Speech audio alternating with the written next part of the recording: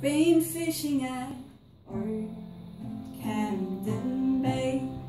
The water's salty and good, and it is clear as day. And so some people have had a thought, oh, we could do some fishing of a different sort.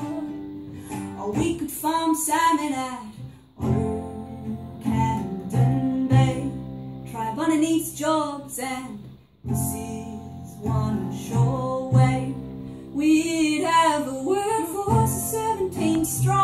With all them jokes we can't go wrong. But what's the point in a job if you can't go fishing on the weekend? What's the point in a job if you can't go fishing on the weekend? You see, people have had this idea before.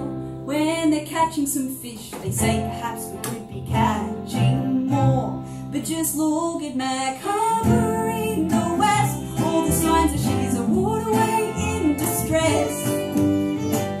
Low levels of oxygen, high ammonia and nitrates, blue-green algae blooms and bacterial outbreaks. Not to mention all the antibiotics and pesticides they need to just keep the poor things alive. And once the water's bad, there's just no making it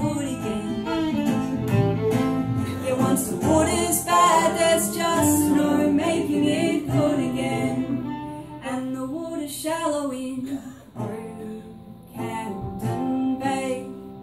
The crab's not gonna just get washed away.